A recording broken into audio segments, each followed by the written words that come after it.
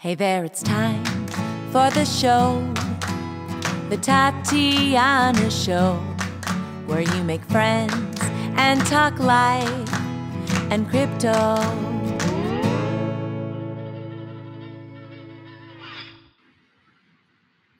Hello, everybody, and welcome to the Tatiana Show. Josh is at a holiday party right now, probably having some eggnog and other fun activities without the appropriate social distancing, just spreading COVID all around Berlin. Um, so I am here to talk to you guys from my apartment, which I'm changing up the look of the place. Now I think it looks a little bit bland. I thought it would look like a IKEA ad or, you know, like an Apple documentary, but it just looks blah. Um, I'm excited today because I'm bringing on a libertarian legend, uh, Pete Quinones, uh, who is known as Mance Rayder, and I don't know why that is. Can you tell me what that's what that's about? Welcome to the Tatiana Show. Thank you. Uh, well, when I first started this, I have a corporate job. I don't look like I would be I have a corporate job, but I actually have a corporate job, and um, my company is international. Uh, I've told, I've said before, they're based in Germany, and they've been on this woke crap for 20 years. So, um, yeah, when I decided to start a podcast and start writing, I felt that it was probably a good idea to do it under an assumed name because I knew people would probably be upset by some of the things I have to say. I mean, you just have a regular opinion today and people get upset by it. So I, I went by that for a while. And then you know, it just got to the point where I had to use my real name for purposes of being a part of a, a nonprofit and everything. So my name would have been out there anyway and I just went to my company and I sat down with the um, with the North American director and I said, "Look, this is what I do. Listen to this podcast. It's probably the worst thing I've ever put out." And um, he's like, "All right, this no problem. Is um, you know, as long as as long as we don't have to run interference from Germany, we should be fine." So uh, know, that's that's one of the reasons why I stayed uh, stayed anonymous at first or pseudonymous at first. So you must be very, very terrible. And I'm being kind of joker, right? Because it does seem like these days uh, you have to almost apologize if you have any kind of libertarian or actual anarchist, not like Antifa, like a real ANCAP kind of leanings.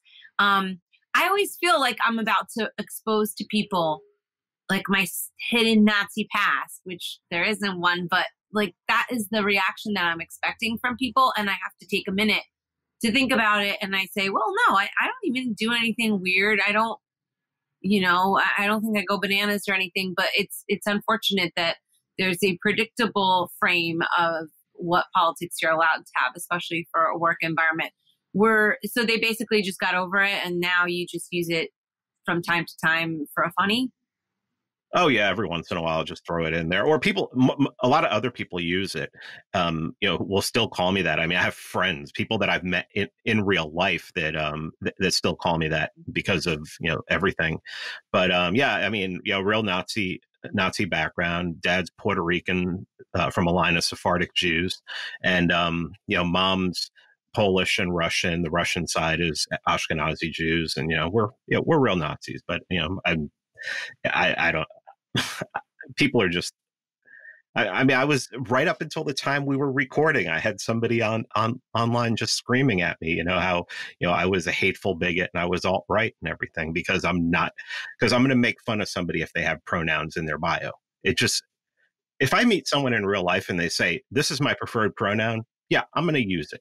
Okay, I'm gonna I'm gonna be I'm gonna be the nicest guy. But if you're a dick online and you and you have that in your bio, I'm going to use it against you because you're a dick online and you're being a dick against me. Uh, you're being a dick to me for no reason. So I mean, I don't. Our lives don't have really devolved in the time of COVID. We can't even have in-person arguments where we can insult each other, you know, right to each other's faces. We're we're stuck being behind lines. Um, so you've been involved with the Libertarian Institute for a long time, right? Um, that's a really cool organization. I, um, I would love everybody to check it out. Scott Horton has come on the Tatiana show several times, and he's obviously quite involved there.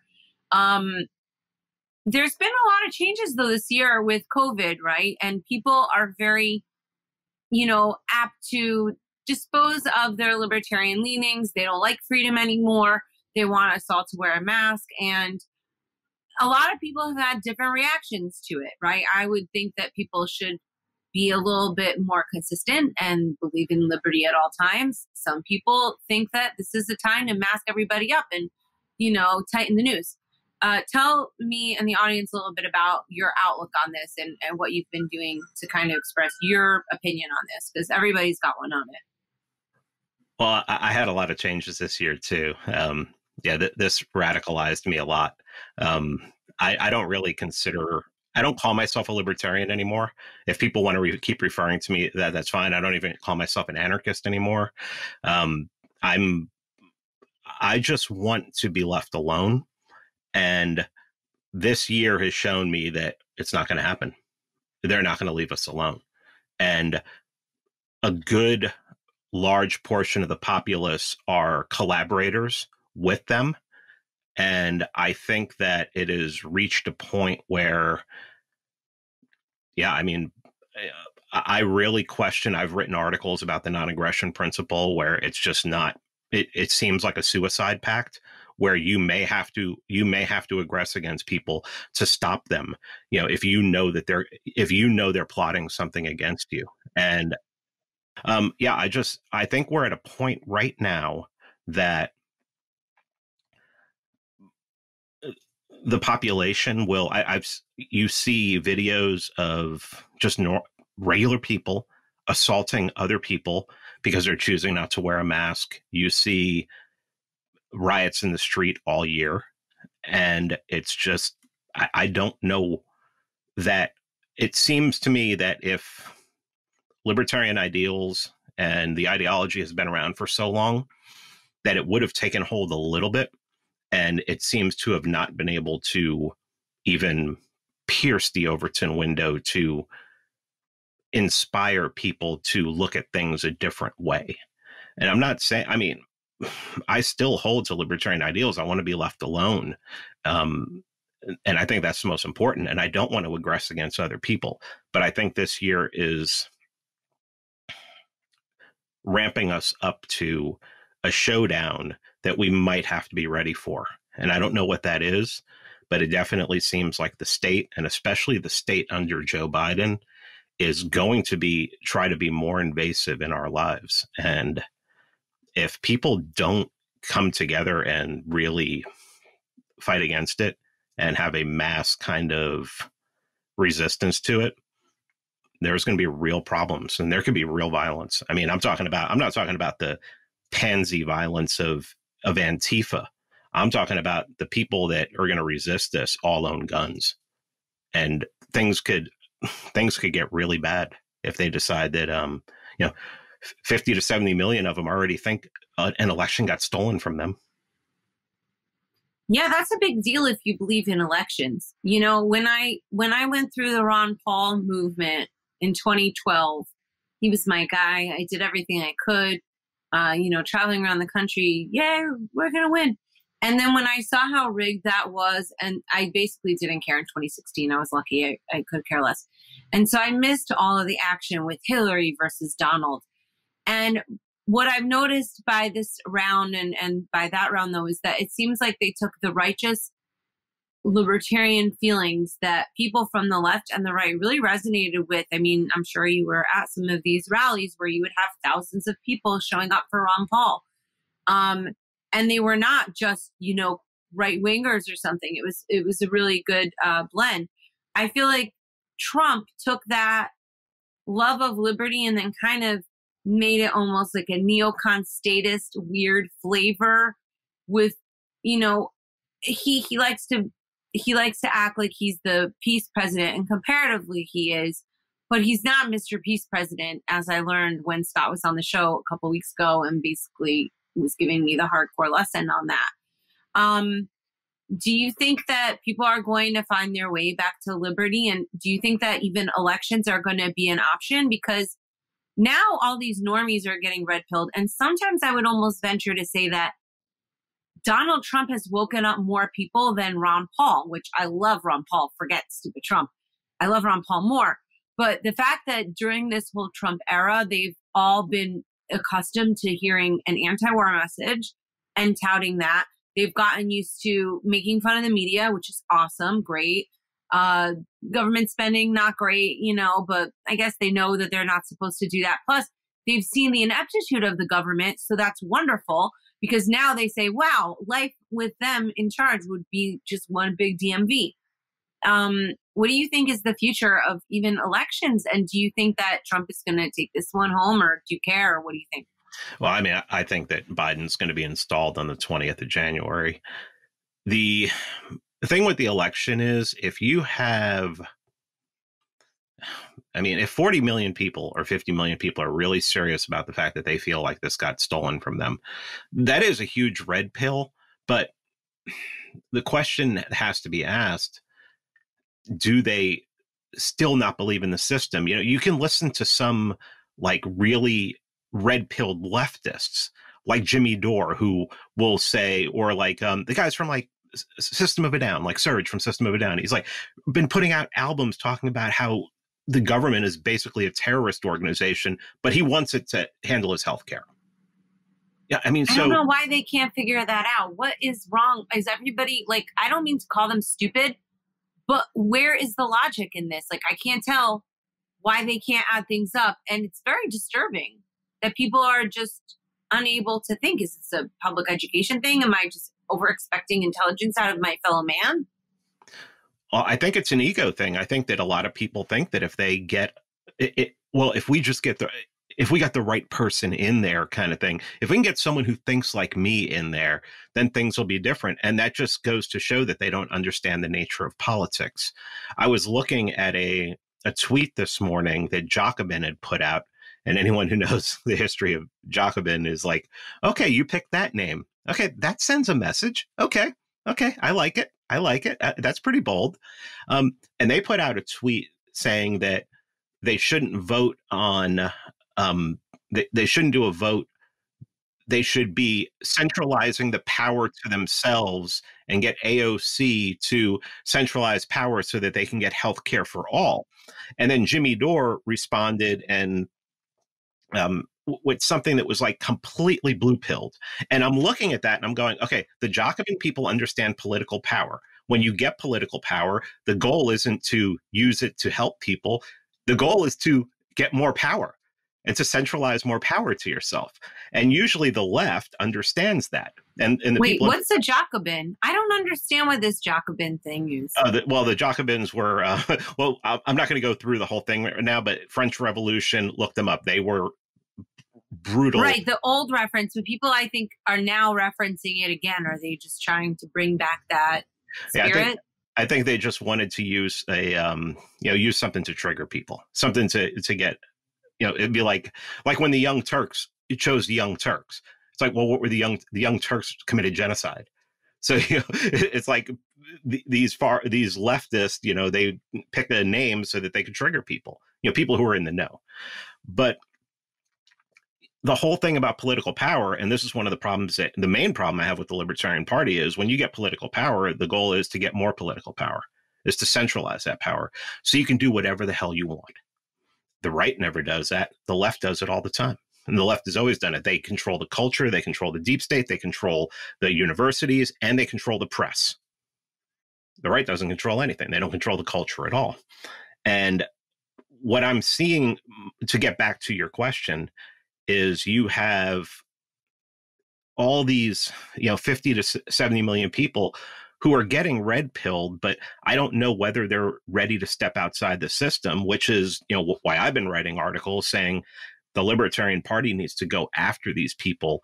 And the message to them needs to be the system can't work. The system needs to be burned to the ground. So come over and be with us and let's just throw bombs all friggin' day in the press, you know, get on whatever shows we can till the point that they can't ignore us. And all we're doing is calling them out as a terrorist organization, as, as a corrupt organization. And I mean, I think that that should be, if, if the party was going to do anything and say, we will, we will, um, ally with anyone. We will ally with anyone who agrees that it, what is going on needs to stop. And but I don't think I'm hoping and I'm seeing signs that that may happen, but um it happen it has to happen quick because who knows over the next year who these disaffected voters may you know they may split off and try to start their own party they may just who knows but i think time is the essence when it comes to that because these people right now are ripe they are they are open wounds and you have to be able to step in and heal them eh, show them how to heal it yeah i think uh it, it's definitely an interesting time. So I, I don't hate Trump. I find him entertaining. I'm not going to lie. I think that compared to what else are the options, you know, he's definitely my guy. But I'm not that excited about the Trump stuff, right? Um, but I went this weekend. I went to the Stop the Steal because I think that the election was was stolen. Did you have an opinion on that? I'm curious. Nope. Do you feel Nope, no opinion. I'm staying out of that. Okay, I'm gonna. I'm gonna, I'm waiting for the. Um, I don't care about every election's been stolen. There's been irregularities in every election. There are always irregularities in every election. I'm waiting. I want to see the attitude of the people who feel who you know the, are upset about it, so that I can figure out how I need to talk to them. Yeah. So that to me, the whole thing of the steal, I don't care you know, I mean, Biden presidency, Trump presidency, they're going to be two different presidencies, but they're still going to be, you know, just popcorn, just eating popcorn and watching. But I want to see where it's going to go and what people's attitudes are so that I can cater a message to them. That's more important to me right now than whoever is going to be in that office. Okay, fair. Um, okay, so let me go on with my where I'm going with this. So I went to DC this weekend, right?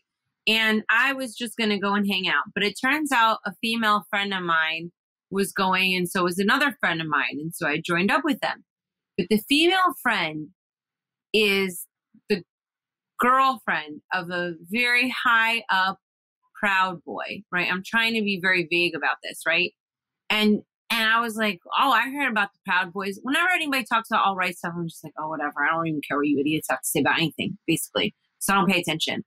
And I also feel like a lot of these people are vilified. You know, I, I played the DeploraBall many years ago when Trump was inaugurated, and everybody was telling me, don't do it. There's going to be racist. I'm like, well, then they need the message of freedom more than anybody. Like, you know, these are people that I could, you know, bring over to my side.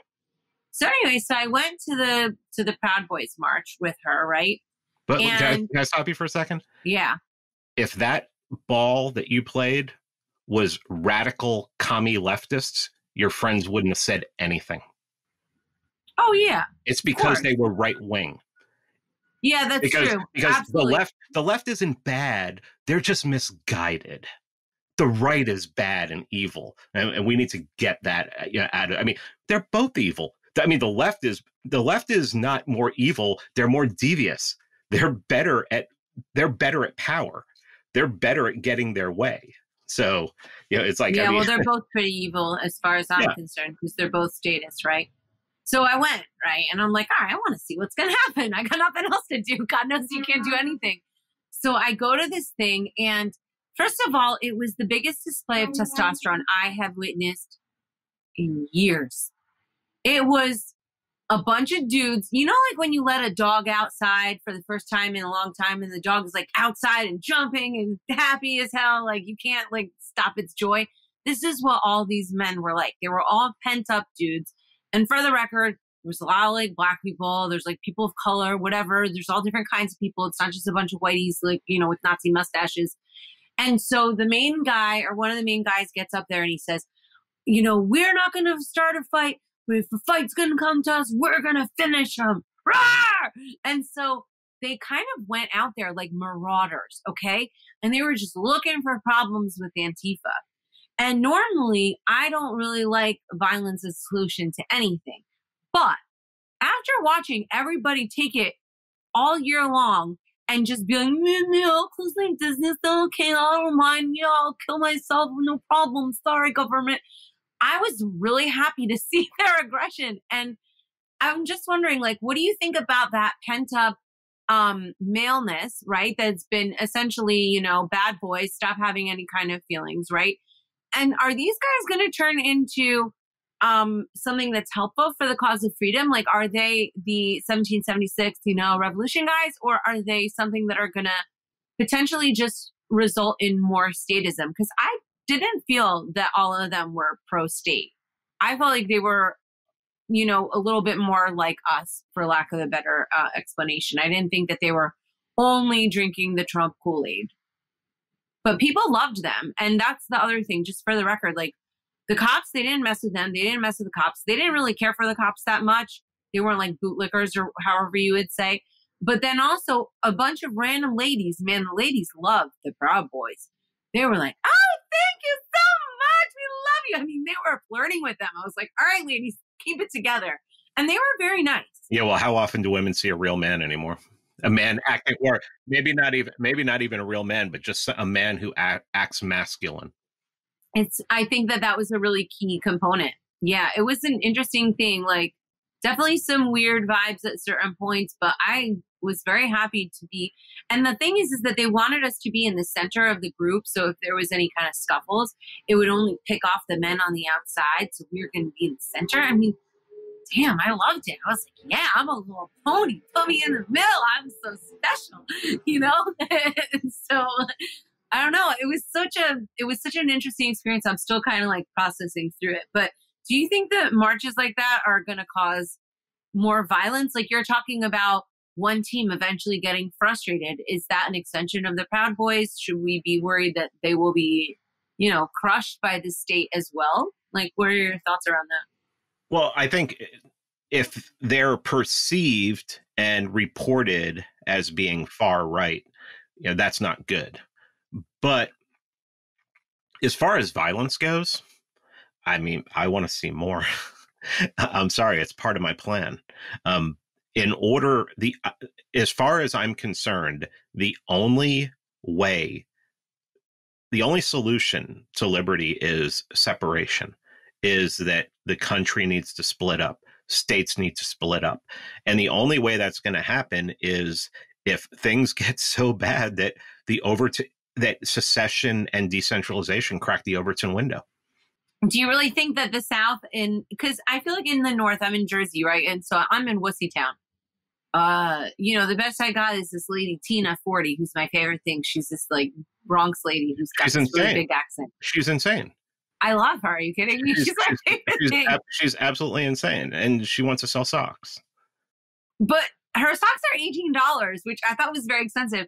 Um, no, I ran into her. I like her. I like her aggression, and and it kind of touches on what you were saying. Like women don't experience men being aggressive, and I, as a woman, have a tendency of leaning into male energy just because, like, I'm aggra- like ambitious, I guess. But I would prefer not to have to do that.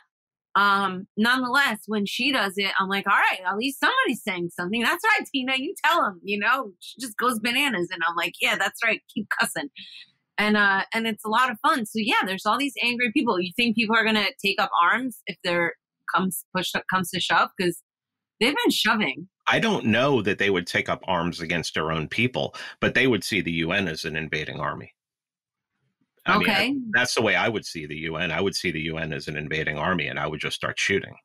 I mean, yeah, I mean, we're not going to put up with that. I mean, we put up with the cops already.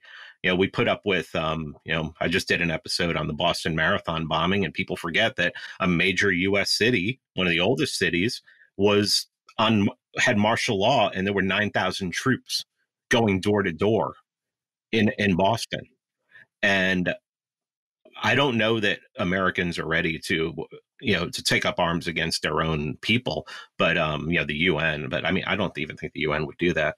I mean, I, th- that would be really stupid. But the, um, yeah, I still think that things need to get worse, and when you, I'll know that there's hope when on the nightly news they're talking about you know, secession might not be a bad idea.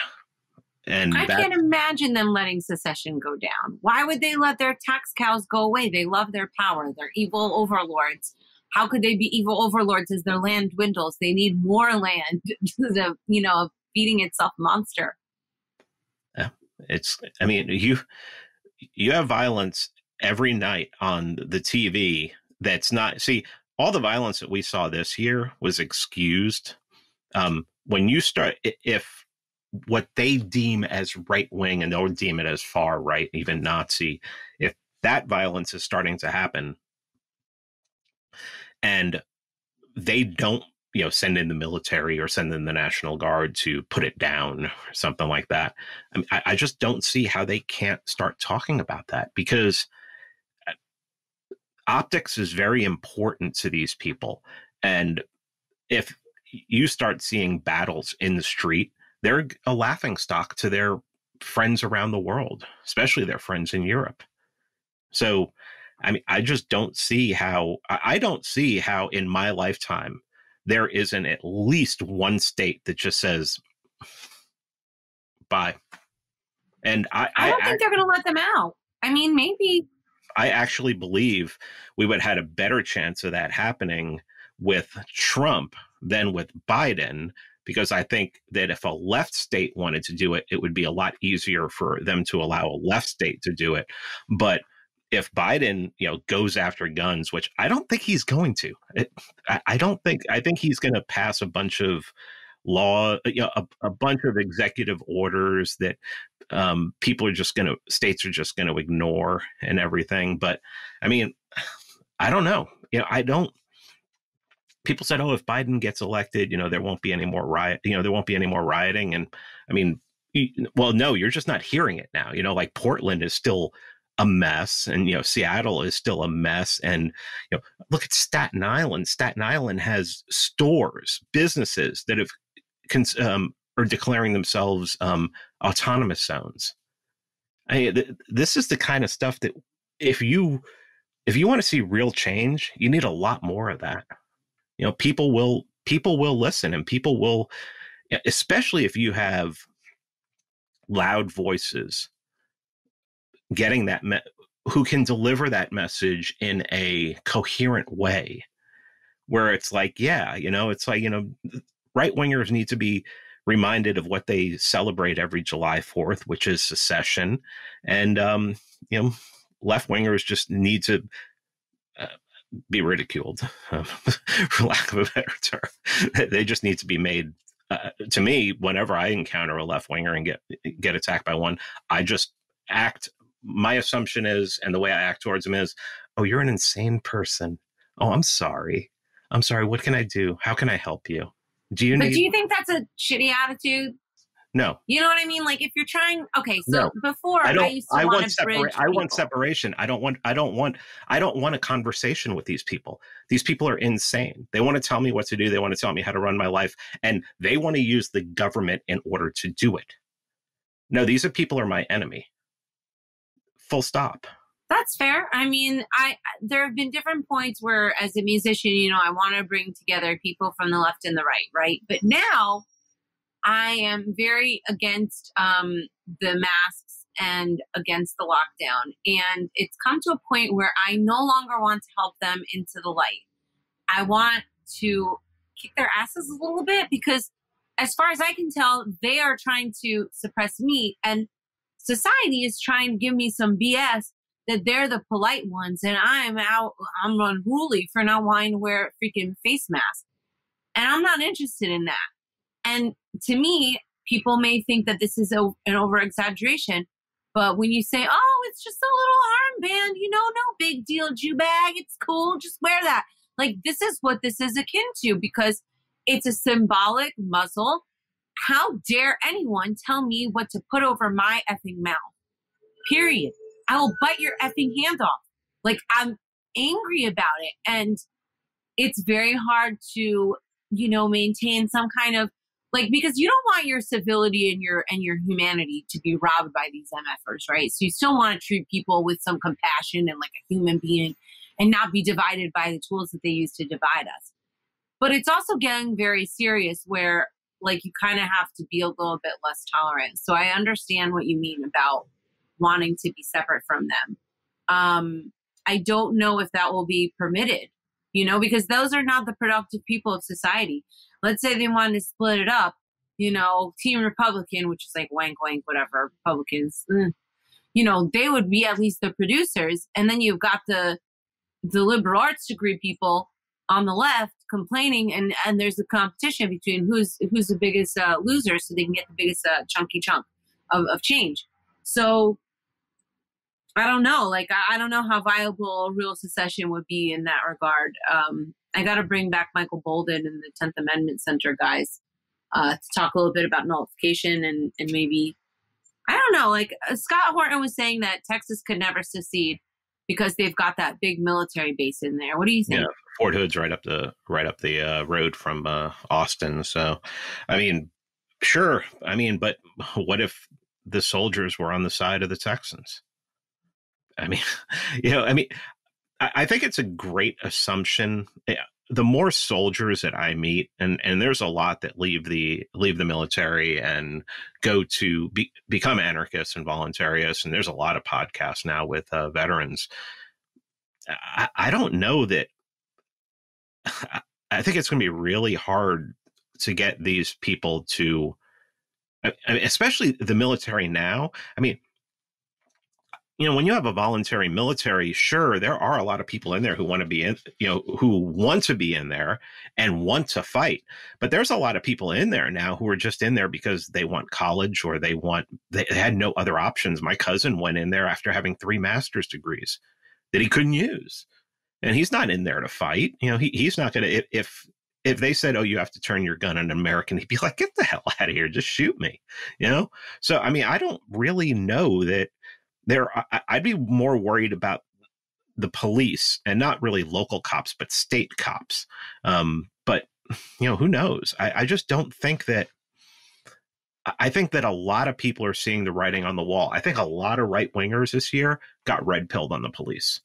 I think a lot of right wingers got red pilled on the police. And I think it would have been a lot better if, in the wake of the George Floyd protest, if they hadn't had the riots and the looting. But of course, they're going to have the riots and the looting.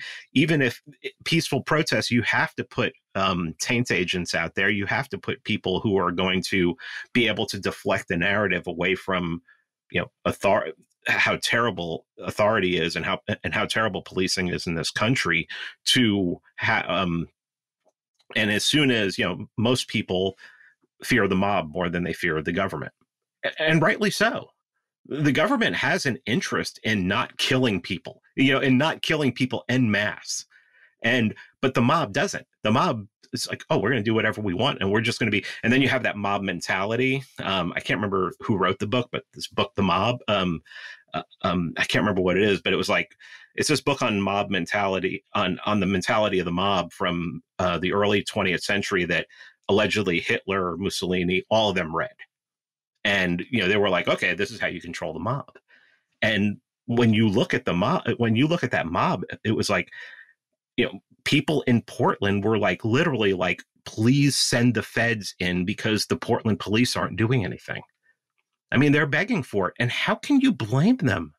their businesses are being uh, burned down. I had people that, you know, people who listen to my podcast tell me that these mobs are right down the street from me in Portland. And if they come here, you know, we're going to get in trouble if we protect our own property. What the hell do I do? You know, so I think I think a lot of people got red pilled on the police this year. I would hope it would be more, but um, and boomers are the worst. I mean, they're just got you're not going to change your mind. We're just going to have to. I mean, I hate to say it, wait for them to die off.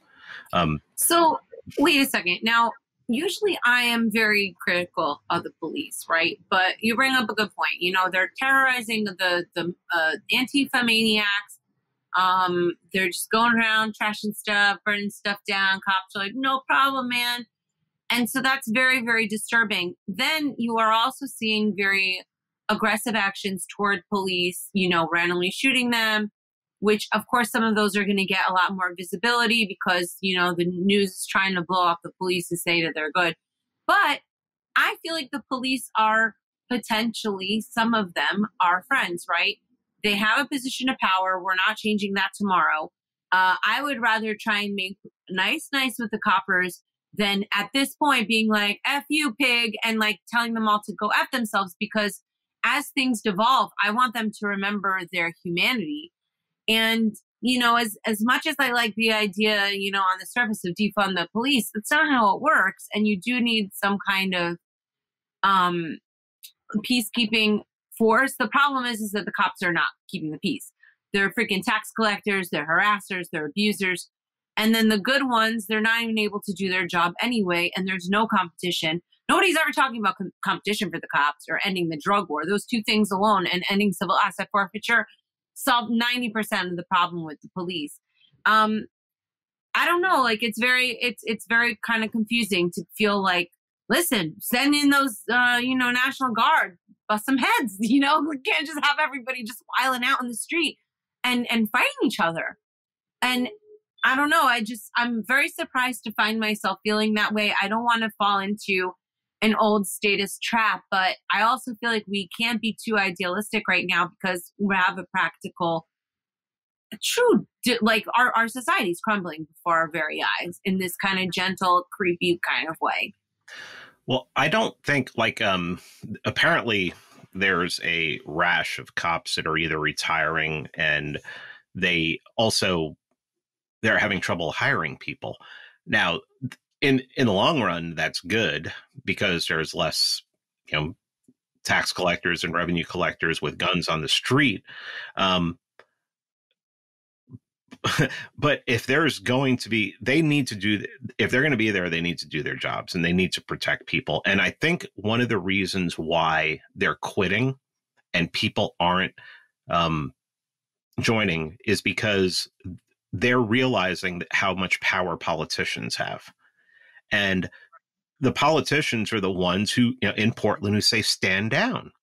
And I mean, if you're a police officer and if you're just there to collect a paycheck, if I was just a cop and I was there to collect a paycheck, I'd be like, cool, I don't have to do anything. All right, I'm just going to hang out. But the ones that actually want to, you know, like join to protect people, you know, no matter how misguided that may be in the end, um, I, I can see how they'd be upset where it's like, well, these politicians are just absolutely killing us. But you know, the way I look at it too is, I mean, I've had many interactions with cops where I've debated them and they always they have this thing where they come back to where they're like well if you don't like the laws vote you know vote for different politicians and to me all that they're doing is admitting that no matter who the politician is in there even if they're an evil politician whatever law they pass, I'm going to enforce it. So it's kind of. they don't of care. They don't yeah. care that they are that they are like scumbags. I'm sorry to say that, but anybody who's just going to enforce, oh, whatever they say, I guess I got to do it. I mean, these people are primed to be murderers later on when the government says, "Well, now you got to kill all these people." And they all have discretion to not uh, to not enforce certain laws that they don't want to they all can be like, okay, I'm not going to enforce this law. I mean, obviously, if we ended the drug war tomorrow, a lot would be a lot would be solved. I mean, it wouldn't. Now, the black market's not going to go away. Like if you if you legalize all drugs, um, the black market's not going to go away because I mean, we see that even in Colorado, there are still people who sell weed, you know, private privately Ill, quote unquote illegally because and in california as well because they just don't want to go through the hassle of going through a store and you know well they're also paying for the taxes. That's yeah, it's and, not that and, they don't want to go to the store it's that they don't want to pay double right in nevada in nevada it's like double and everything so uh, but you would you'd still have some street violence but you wouldn't have police violence. If you got rid of the war on drugs you wouldn't have bashing doors in at three o'clock in the morning. I mean, you bash my door in at three o'clock in the morning. You say, "Hey, this is the this is the police." You bash it. I'm going to expect that it's a home invasion because if I was doing a home invasion, that's what I would do. I'd be like, "Oh, it's the police. Stay, you know, stay calm. Get on the floor." If I was doing a home invasion, so I mean, if they come bashing through my door, I'm shooting. I mean, I'm I'm I'm going to start shooting because I don't know that it's the police or not.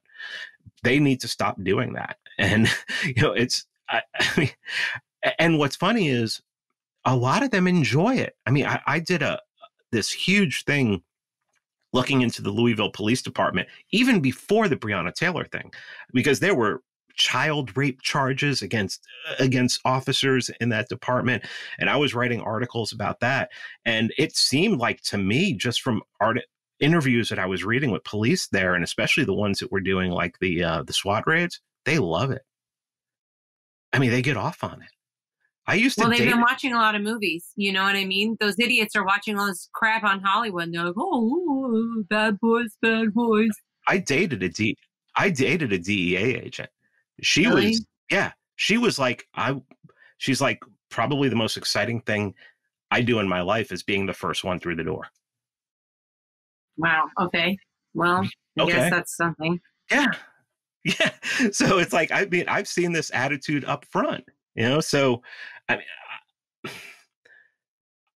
I would like, you know, and I've I've written articles about this, how to fix the police, okay? The police are they have to follow the non-aggression principle. They can't initiate violence. They can only react, you know, they can only if if violence is against them or against somebody else. And also, I think the easiest way for policing is if you look at response times, police show up to stop a crime less than 5% of the time. Okay. So it's basically they're historians. They show up and they're like, okay, oh, you got killed. Okay, that's good. Or, oh, you got stuff stolen from you. Okay, we'll take down your information. You won't hear from us again. Police should be like fire department, should be like the fire department. They should stay in the precinct until there's a call that they're needed. They do not need to be riding around. I mean, there's no evidence that when they go into the hood that drug dealing stops. No, it's just delayed for a little while. It's until they're until they drive through and they go in, in the car, you know, with a presence and everything. Just have them be like the fire department. So yeah, I mean that's one of the eas- two of the easiest things that I, I could think of is you know police are just not allowed to initiate violence against anyone. They are to react if somebody else is getting hurt or if somebody's trying to hurt them, and they just don't go out until they're called. I mean, cop, I mean, uh, fire department doesn't go around looking for fires. Yeah, I mean, now you're asking the government to be other than what it is, right? And it's basically a beast that is its sole reason to exist is to just keep gobbling up more and more. So I don't know if there's ever an incentive for the government to stop gobbling. They love it. Why would they want to end their own existence? Um, they just want to get bigger and bigger. I think that's just the nature of it. Um, Well, I mean, I know that politics is downstream from culture. If the culture, you know, and the easiest one that that everybody uses is when Barack Obama ran for ran for president in 2008, he was anti-gay marriage. Over the next 4 years, the public changed and 50 more than 50% of the people became pro-gay marriage. That's what the the poll said. So when he ran in 2012, he was pro-gay marriage when the cult you have to change the culture you have to change people's attitudes if people's attitudes change you know and they tell their politicians you do this or we're not going to elect you or we're going to find somebody who will do this you see that all the time i mean drug legalization is happening in certain states because the culture changed. You know gay marriage up until i think it was 2004 2006 it was in california was anathema. And no it was way below 50% and it, why because of the black population. Black people are they're for gay marriage. They they're to, they're basically conservatives when it comes to social values. So it's like eh, but once that changed and the people were like no we want this now. And the same thing with weed. The same thing the culture has to change. If you're not changing the culture and the left knows this the, the left owns the culture because they concentrate on the culture. They put you know we're going to put music out that's that's culturally left we're going to have institutions that teach that teach teenagers that are culturally left we're going to have culturally left institutions that teach your kids from the time they're three or four years old to be progressives Right. So that's the problem, though. You know, I'm a singer songwriter. I think a lot about how musicians influence culture, how music can influence my own cultural outlook and everything, and how powerful that can be. But as we're seeing right now, you know, cancel, cancel, demonetize, get them off this network. There is such a difficulty with all the censorship to actually reach people. You know, if I put out a tweet and uh, the overlords don't like it, nobody's ever going to see it. The same thing with my Facebook. They shut you down. They don't let people see your messages. I find the the culture battle to become uh, is is a little bit more difficult. Now, the cool thing is is that liberty is sort of counterculture, so they're essentially this produced gross thing, and that you are being part of the machine if you go along with it. But those idiots think that they're radical. Like, of course, Black Lives Matter. It's idiotic to suggest otherwise. But by hijacking that, now they have their they're just their different causes, and they're completely manipulated and they think that they're being rebels. It's like you're not a rebel. Literally every single corporation gave money for this. Let me, let me not you, that weird. Everybody knows Black Lives Matter. We're cool. You know? Let me give you an example of how the culture could have been changed this year very easily. Okay. The right in this country has been complaining about the department, um, the Department of Education for decades, ever since it came in the right is always complaining that the public schools, the government schools, are indoctrination centers for leftism. So the government shut down the schools this year. And they shut them down pretty friggin' hard. And yeah, it's kind of nice actually. Yeah, they shut them down. And then when it came around to fall and most of the schools were like, yeah, we're still not going to reopen, what does the right do? reopen the schools so my kids can go back to school. They wanted the schools reopened so that they could send their kids to the fucking enemy. Yeah, well, they're just lazy parents. That's well, literally yeah. what it is. The mom and the dad are both working. They don't have time to raise their kids. They don't feel like it. They have important, you know, soap operas to watch, and they just don't care. And that's a sad thing uh, because there is a great opportunity to open up people into homeschooling and to actually teach your kids more than you know what they get in the classroom if i had a kid i would not send them to a classroom right now not if they couldn't do it no- naturally like if they could go and not wear a mask and just be like a normal kid okay fine but otherwise what's the benefit? A lot of that has to do with personal responsibility. When all of this started i wrote an article uh, for libertarian institute that got actually it was linked in some big articles in like major magazines who were writing about how people on the liber- on the liberty side were messaging this. And my article clearly said that this is a perfect example of why your finances have to be in order why if you're living beyond your means or up to your means you're you lose you're going to lose I mean, look how many people have lost this year because they didn't have sa- because they didn't have savings enough so that they could pay their bills for 12 months or 18 months. That just makes sense to me. I mean, I was taught that from a young age, and I'm not Mormon. Know, that's something the Mormons like teach. You know that um have two years worth of food, everything like that. But I was taught. My uncle was just like always have six, always have six to 12 months worth of bills, and you know, luckily, you know, I work in a in an industry that was deemed essential. But uh, one of the, the one of the first things I thought when this thing came out is you have to be conservative in your finances. And if you have a a family and you have a house and you have cars, I mean, I you know how many people I knew were getting rid of their third and fourth car that they didn't need this year. I mean, I bought a car off a friend for a thousand dollars because they had three cars and they didn't need the third one and they got killed in this thing got shut down and they needed a thousand dollars so i got a car for a thousand dollars. And i mean because i had a thousand dollars sitting around. But everyone else didn't all these people didn't. And it's like how can you how can you live in this society and think that you can get away with you know you'd always hear eh, the average family is um, two paychecks away from being being thrown out of their home. I mean, you know, there's no more moratorium on like um, on rent and mortgages now. Uh, people are going to become being kicked out like crazy. I, I mean, you know what? But the other thing is, is that like I kind of want them to because, for example, my mom she has a, a three family home and she bought it as a investment. She's not some rich lady that just has tons of houses and stuff. And so one of the people there, they're purposely not paying because they don't have to pay. So it's like I feel bad for the people that didn't save, but I feel worse for my mom who, you know, thank God did save so she's not going to lose the house, but at the end of it, she's going to lose, you know, 15, 20 grand for the year of not having the rent at least. And then there's no there's no resolution for that. There's no making those people whole. No, I mean everybody everybody's suffering this year, and really, I mean when it comes down to it, it the government caused it. Um, so there is, you know, the government should be making everyone whole. I mean, if if I was responsible for my next door neighbor not being able to work or pay their bills because you know I ran over him or something like that, I should probably and and and it was negligent on my part.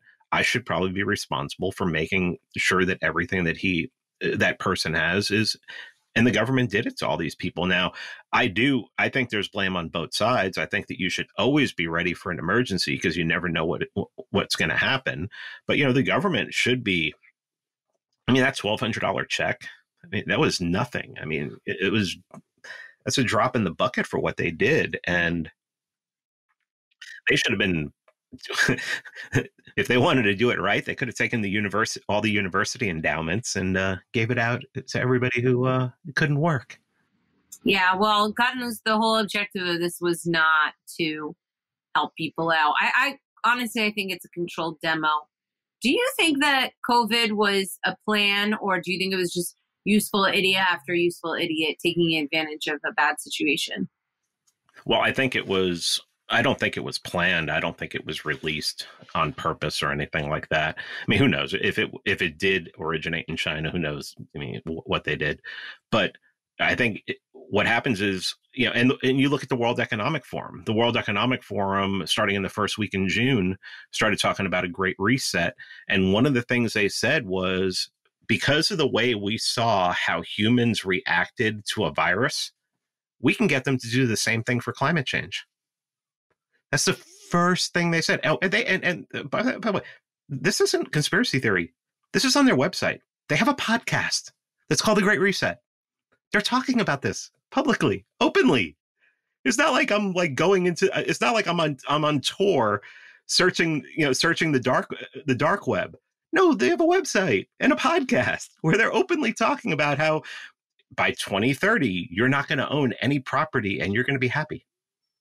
I mean, I mean, that sounds like um, something that they have been planning for a long time. And then this comes along. The government says shut down and stay home. And people are like, yes, no problem. We'll do it because we're scared. And well, remember, I mean, if only, you're scared, everything is excused. Yeah. Well, I mean, and, and remember, it was only supposed to be for two weeks. It was just two weeks to flatten the curve. I think it's going to be two years, man. I can't even believe this. These idiots are talking about You've got uh, Fauci saying, "Oh, you're still going to have to wear a mask even with your vaccine, and then vaccines are going to be mandatory." I mean, I don't know how this is going to end up, but we'll we'll oh, end up finding out. Oh, it's I not going to. Nothing's going to. Nothing's going to change. I mean, it's this is going to be fifty percent of the population will be wearing masks five years from now. It's oh totally. Oh my god, totally, they're so stupid. I can't take I, it. I knew this. I've I've been podcasting on this from the from the middle of March, and in the first week in April, I said that by July, because remember back in March and April, they're like, oh, you know, this will be done by June, July, and everything. I said by July, fifty percent of the fifty percent of the population will still be wearing masks. Yeah, I didn't know it was going to be hundred. Yeah, I didn't know it was going to be ninety percent. We're still going to be wearing masks. And I don't know why they're doing it. They wear them outside. They, they wear them in their cars. The it's it's clothing. No more fresh air. I, I, I'm sorry, fresh air is just passe it's clothing. I mean, you look at I mean, you have branded now. Companies have branded them. Um, that makes me so mad when I see that. Like, I'll go on a dating website sometimes, and there'll be a man in a mask, and I want to take his lunch money and like give him a wedgie. Like, I'm so mad about it because I'm not going to give you COVID through the freaking screen, dude, and you don't look cool with a mask on. You look like a subservient slave boy, and I'm not interested. So, on that happy note. I mean, they're, you know, it's like they've demonized masculinity so much in the last, you know, decade, two decades that, you know, men think that subservience is the way they should be, you know, and it's like, I mean, and I don't know what kind of woman actually like is attracted to that. I mean, it's just, it's just odd. I mean, it's just, it goes against nature. It goes against chemistry. It goes against science. It's like it, it, these are the people of science, and you know the, the science of you know. I mean, pretty much every female I meet, I can dominate physically. It's that's what science is, and to want me to you know to emasculate to or to say like um oh women are equal to men. And then they'll be like oh and and physically too. And it's like what are you talking about?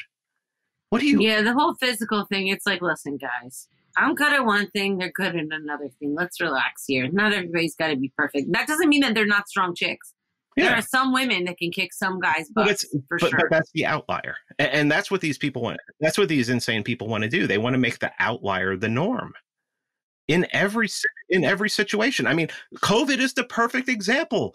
What's the survival rate? 99.7%? The outlier is dictating everything. The point It's so annoying because then you just have to listen to it on Twitter. Well, this one got COVID. So what? Every time somebody's going to sneeze, I'm going to have to hear a freaking Twitter alert about it. It's going to be trending news. Like, why is this interesting? Unless they're dead, I don't care. I really hate these people. I mean, I really. Yeah, I, I know it's it's it's hard to be positive in these times, but um. But but you know, can, but Biden got elected, so you know he's gonna he's gonna unite the country, and everything everything's gonna be kumbaya. No, he's horrible, and so is Kamala. She's horrendous. If people are worried about racist stuff, they shouldn't have elected those two dodos, which we all know that perhaps they didn't even elect them. Hmm. Where can people hear your podcast? And also, uh, we didn't get a chance to talk about Monopoly on Violence. Okay, well, um, pod, the podcast is Free Man Beyond the Wall. It's, I mean, every, iTunes, Google Play, Stitcher, all those things. Uh, it's on free. It's a, um, it's on lib. Uh, not even mention that Libertarian Institute. I have my own page on there and everything.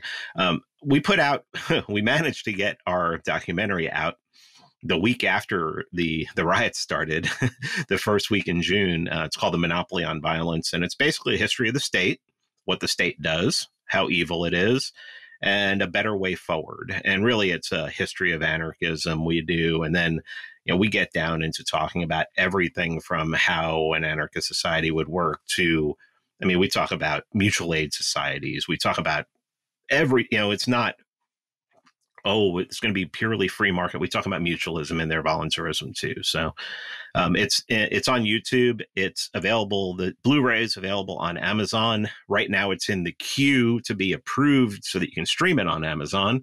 But as of right now, it's on YouTube. And really, you can go if you want to go to the monopolyonviolence.com.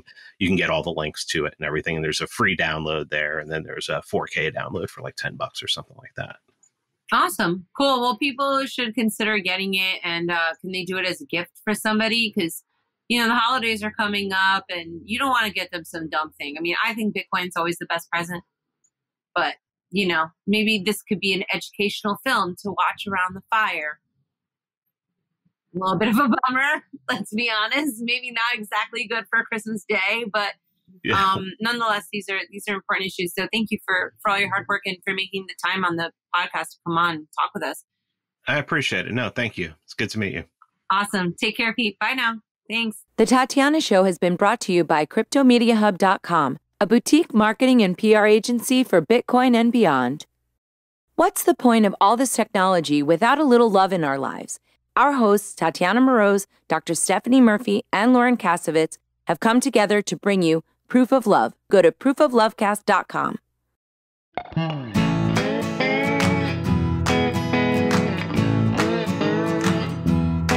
Hey there, it's time for the show. The Tatiana Show, where you make friends and talk life and crypto. We gotta think and reflect and use lots of intellect with our hearts when we work together. I know that it can be so hard out there, looking all around and saying that life ain't fair. So that is why we will fight and stay up late at night listening to the Tatiana Show. Thank you for listening to The Tatiana Show. Please follow us on Twitter at Queen Tatiana or on Facebook and Instagram at Tatiana Moroz Music. More episodes can be found at thetatianashow.com and make sure you leave a review on iTunes and tell your friends. You are listening to The Tatiana Show. This show may contain adult content, language, and humor and is intended for mature audiences. If that's not you, please stop listening. Nothing you hear on The Tatiana Show is intended as financial advice, legal advice, or really anything other than entertainment. Take everything you hear with a grain of salt. Oh, and if you're listening to us on an affiliate network, the ideas and views expressed on this show are not necessarily those of the network that you're listening on or of any sponsors or any affiliate products you may hear about on this show.